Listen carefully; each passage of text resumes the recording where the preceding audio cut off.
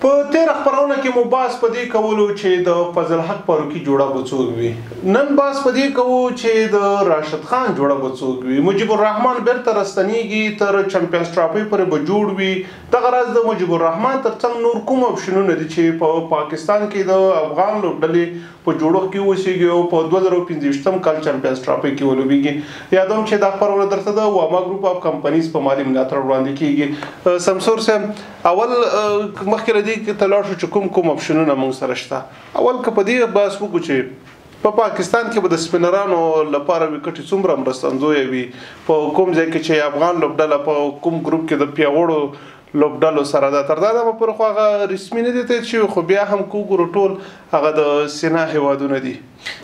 سلامونه مې ومنئ نصرت صاحب ټولو لیدونکو ته هم سلام بلکل همدغه خبره ده چې کله ته د اسیایي لوبډلو خلاف لوبېږي ښایي سپینران دې هغومره موثر ونه اوسېږي ولې کله چې ته د سینا لوبډلو خلاف لوبېږي مثلا استرالیا ده انګلند دی نیوزیلند دی ساوت افریقا ده کله چې دغسې لوبډلو خلاف ته لوبېږي نو سپینران واقعیت ته دپاره ډیر موثر دي خصوصا کله چې زمونږ د کوالټي سپینرانو خبره کیږي کله چې زمونږ د بلابلو بړو سپینرانو چې بلابل مهارتونه لري دغه خبره کیږي نو که د پاکستان وکټ هر څومره فلټ وسیږي یو خدای د چې ګوري یو د چې بایلټرل سیریزونه دي نصر صاحب یو د کرکټ نړیوال شورا ټول ایونټونه دي چې د هغوی تر نظارت لاندې هغه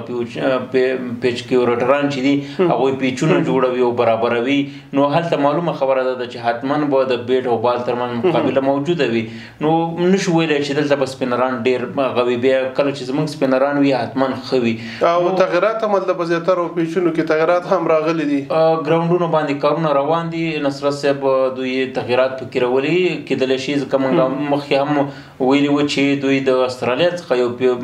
د پیچونو جوړونکي چې مشر د پیچونو جوړونکي دوه غړي واغه پوزیشن ورکړی دی نو هغه راوستي دی موږ تاسو ورسته کې ګورو چې ټیس لوبو کې څومره تغییر واغه سينو فلټ وکړي نو پیچونو خو به هماغه وخت قتل کیږي ولې د سپینرانو شتون او د خپ کوالټي سپینرانو شتون په هر لوبډله کې ډیر ښه خبره ده چې باید واوسیږي. افغان لوبډله مشهوره په دې ده چې ډېر ښه سپینران لري او بیا په سي کنډیشنز کې نو د دغې لوبډلې خلاف بیا د سینا هېوادونو لوبډلې چې لوبیږي حتما فیورټ چې وي افغان لوبډله وي او سپینران وي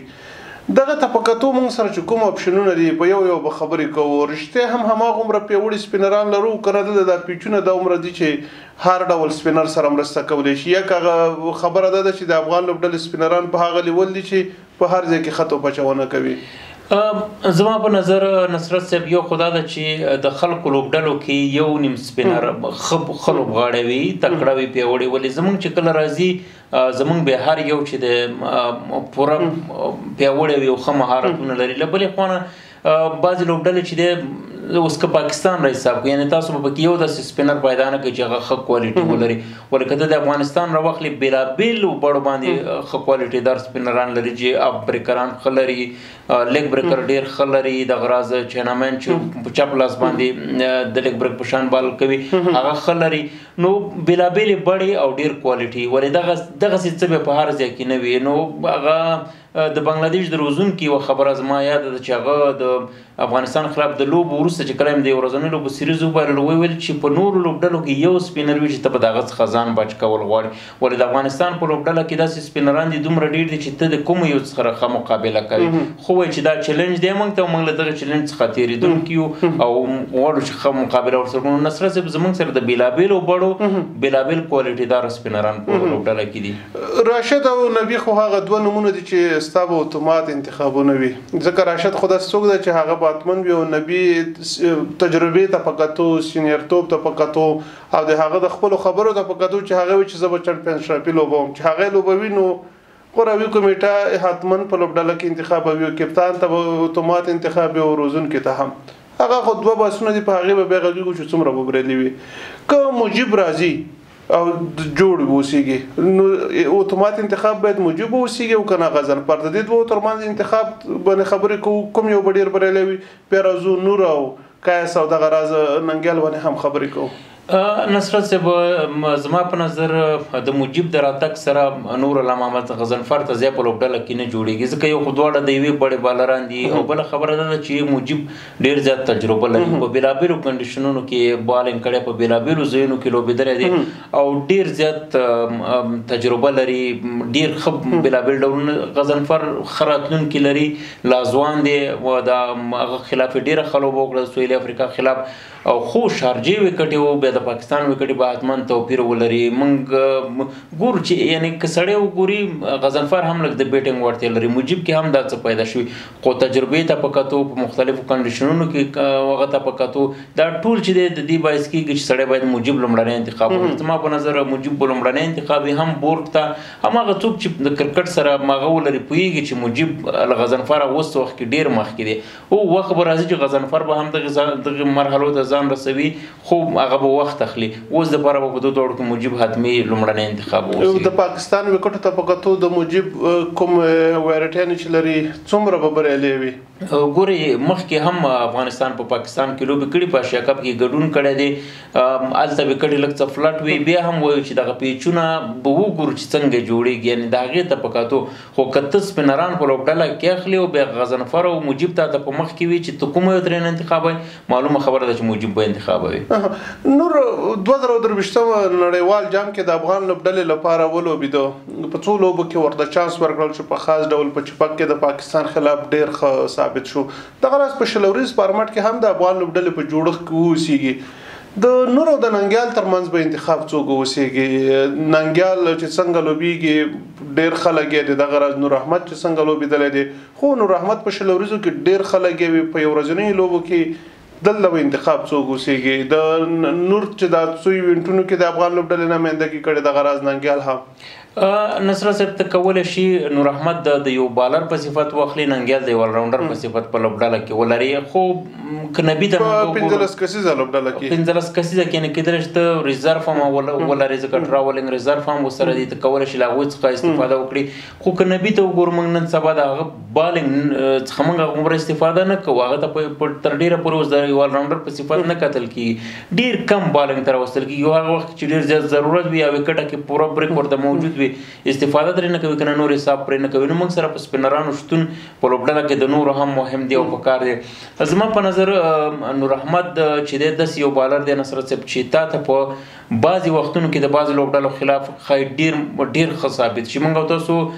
د 2023 نړیوال جام نه وړاندې هم یو برنامه لرله چې د پاکستاني بیټسمنان چې دي څنګه د چینامین خلاف چې دي یا په چپ لاس په مړوند سره چې بال کوي د هغوی خلاف ښه نه لوبېږي ریکارډ یې ښه نه دی دغه د ټولو بیټسمنانو وي کله چې نور احمد د هغو خلاف واخیستل شو موږ او تاسو نتیجه بیا هم ولید یعنې ته کولی شې د یو خاص پلان مطابق بعضې لوبډلو ته نور احمد ان کې په لوبډله کې یعنې ته د ډېرو سپینرانو سره لاړ شي یو خو دا د بیا هم وایم چې حالاتو ته به ګوري کنډیشنز ته به ګوري پیچ ته به ګوري خو یعنې ته دغه یو اپشن باید له ځان سره ولرې چې نور احمد تا سره په خاصو حالاتو کې د خاصو لوبډلو خلاف ته له هغو څخه استفاده کولی شي نو کولای شو موږ له دغه دواړو څخه استفاده وکړو په لوبډله کې لوبډله کې واخلو بیا هم بیلانس به کتل کیږي خو زما په نظر کې دواړو ته په لوبډله کې چانس برابرېږي او دواړو باندې کار کول پکار دي ترڅو پر هغه وخت وکتل شي یعنی دا هغه وخت چې رنځدې کیږي کولای هم شي چې بیا وګوري چې کوم لوبغاړی ماته مهم دی کوم لوبغاړی ما د زور دی ولې زما په نظر نور چې دی ته په باز وختونو کې ډیره ښه استفاده درې نه کولای شي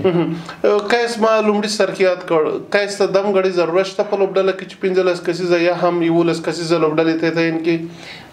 نصرت صاحب هغه مهال چې راشد د نو ژوبلو نو قیس ته موقع ورکړل شو او هغه وخت چې قیس به ځان پکې ثابت کړي وکړي هم کوم زیات تش پاتې کیږي کوم زی ته ضرورت پیدا کیږي نو قیس باید راشي قیس زما په نظر غلو په کې سره د چې ډېرې لوبې نه وي ولې ډېر ښه نه وو بیا هم دلته به اوس ابدالیانو کې که انتخابېږي کتل کیږي به چې څومره ښه دی ولې د راشد په شتون کې فکر نه کوم چې قیس د نور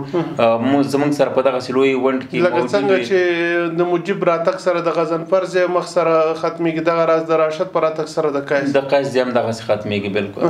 په ټوله کې که د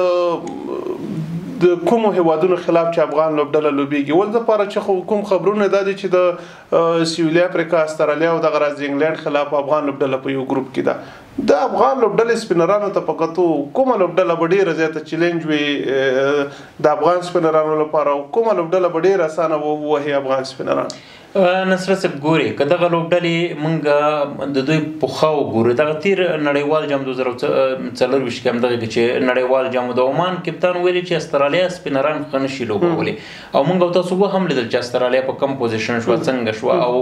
ګورو به چې ځکه دا خپل سوريز فارمټ دی اوس د دوی لوبغاړو انتخاب څنګه دی اتمنه به دوی ته سټیف سمیت راځي لبشین مور سره راځي چې دوی سره غسپینران به خو وهل شي خو د سویلي افریقا خلاف مو د افغان لوبغاړو سپینران سپینران هم ولې د افغان لوبغاړو چې شارجه کې څنګه د دوی خلاف بالینګ وکړو د انګلند خلاف مو وخت نه وخت لیدل چې افغان سپینران څنګه بالینګ کوي یعنی کله چې کنډیشنز اسیایي کیږي کله چې دغه سلوبډلې لکه د سینا لوبډلې راځي نو حتما زموږ سپینران بیا په دوی باندې برلاسي کته هم دغه سپینران د بنگلاديش خلاف پاکستان خلاف هند خلاف کاروي ما مخکې ویل چې دومره به موثر نه وي نو کله چې نصر صاحب ته د انګلند غوندې لوبډلې خلاف خپل کوالټي سپینران لوبوي یعنی ته کولای شې د دې چانس ته چې تر یو نیم سلو منډو پورې انګلندۍ لوبډله کولیپس کې رايساره کړي د غرض د افریقا لوبډله مونږ ولې ده چې په عملا دوی تر یو سلو دیر شو یو سلو پنځه دیر شو پورې رايسار کړل همدغه استرالیا هم کولای شي نو د دغه لوبډلو خلاف کوم په ګروپ کې راځو لوی لوبډلې دي نمونه بیخي لوی دي خو ته چې کله په اته غوره کې لوبېږي بیا به نوم ته نه ګورې ځکه ته هم د همدغو لوبډلو له قطاره یوه لوبډله چې په اتو غورو کې راغلې او بیا زموږ سره دغه سپینران زما په نظر د اسیایي هیوادونو په پرتله د دوی ماتول به موږ ته اسانه کیږي او د افغان ملي لوبډلې د زیاترو لوبغاړو وس فکر دا دی کله چې به ما له ځینو لوبغاړو سره په شپږیزه کې خبرې کولې چې دغه بالر څنګه دی وې زما د بالر نوم سره کار نه زما له بال سره کار چې زه څنګه لوبوم نو اوس خبره ده چې اوس افغان لوبډله په هغه سټیج ده چې دا نه و چې او استرالیا د څومره تجربه لري اوس وای نه زه اوس کافي تجربه لرم باید استرالیا ما تکړه موږ په 2023 نړیوال جام کې ما ته هم کړه هم دغه سیده نصر سره بالکل موافق یم درنو لیدونکو بحث مو پدې کو چې د راشد خان جوړې به کومې وي کوم لوبغاړي و چې سمسور سره ورته اشاره وکړل چې په پاکستاني لوبغالو کې به د افغان لوبډلې په ګټه باندې ډیر ښه ولوبېږي وخت شته دی درې د یو ورځنیو لوبو سیریزونه افغان لوبډله لري نو دغه کې به معلومیږي دغه کې به کتل کیږي سمسور صاحب کوم لوبغاړي چې دوی په نظر کې لري په دغه نهه لوبو کې که چرته د ویسټ انډیز سره هم لوبې وشي نو په کار دا ده چې دوی ته حتما چانس ورکړل شي کم تر کمه دوی ته به انتخاب اسانه وسی نو